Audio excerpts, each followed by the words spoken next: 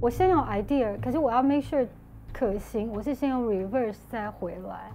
可是因为对我来讲，就是 jewelry 太是一个我很觉得很重视，因为它算是一个 common common 呃呃 etiquette etiquette 的一个 presentation，对男生跟女生，男生戴太代表尊重，代表重视嘛，代表去正式场合；女生戴 jewelry 同样的概念嘛。所以，我们如果做一个 jewelry tie 的话，actually 这是没有一个什么性别。对，因为我一直觉得就是男生跟女生之间怎么找到一个平衡，一样还是一样 two，还是一样两个 gender 两两个。那虽然讲说只是两个 gender 都是 human race，就已经是很不同的 species。对，女生跟男生就是很不同。那怎么对？怎么一直找到这里面的 common common elements？然后我觉得有多一点的这个呃 overlap 的 area，或者是 share 这个 common elements 的时候呢，我觉得就有很多的平衡。我觉得所有冲突的东东西，你都只是在。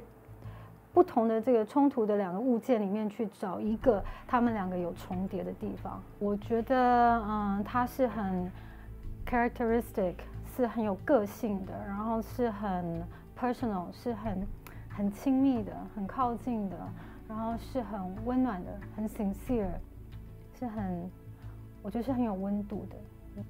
所以我觉得珠宝是一个很能够啊 speak out 你的 character 的一个东西。就是在一个比较钢铁人，就是钢铁机器人的一个一个呃，大家对这样子一个概念一个 concept，就是觉得这是一个很强的，那它有很多的功能，它好像是比较英雄式的。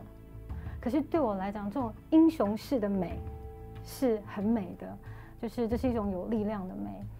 我们看到的都还是它的 function，它可以做的。没有人去真的看到它里面的那个美学，就是设计的美学。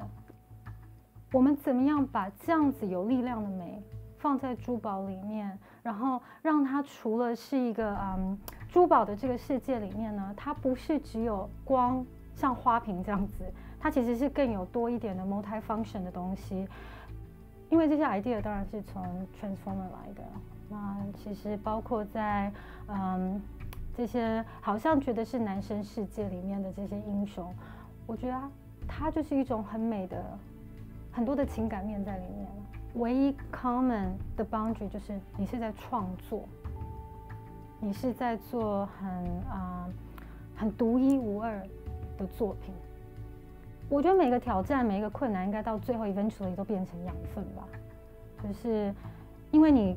克服了一个困难以后，你就会到下一个阶段去。可是，所有我们现在回想起来的困难，都变成今天的优势。